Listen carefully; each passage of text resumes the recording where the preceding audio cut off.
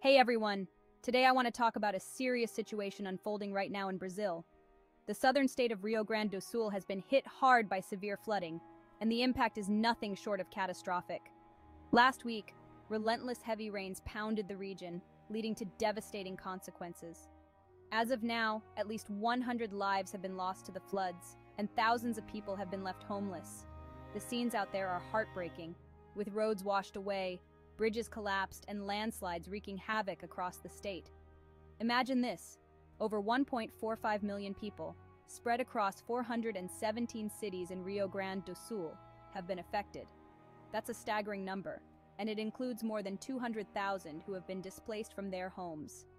The state has almost been cut off from the rest of Brazil, with its main airport submerged underwater, potentially unusable for the next month.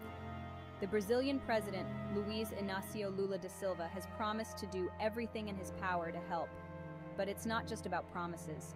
The situation on the ground is dire. Looting, ongoing floods, and damaged infrastructure are hampering rescue efforts. In Porto Alegre, the capital, police are now escorting volunteers on boats and jet skis to provide security and aid in evacuations. And there's more bad news on the horizon. The region is at high risk of further flooding. Weather forecasts are predicting more intense rains, particularly in the northern and eastern parts of the state. This could lead to even larger and serious floods, as described by Metsul, a weather forecasting agency. With weather conditions expected to worsen, the authorities have made a desperate call to anyone who owns any kind of boat to lend it to the emergency teams.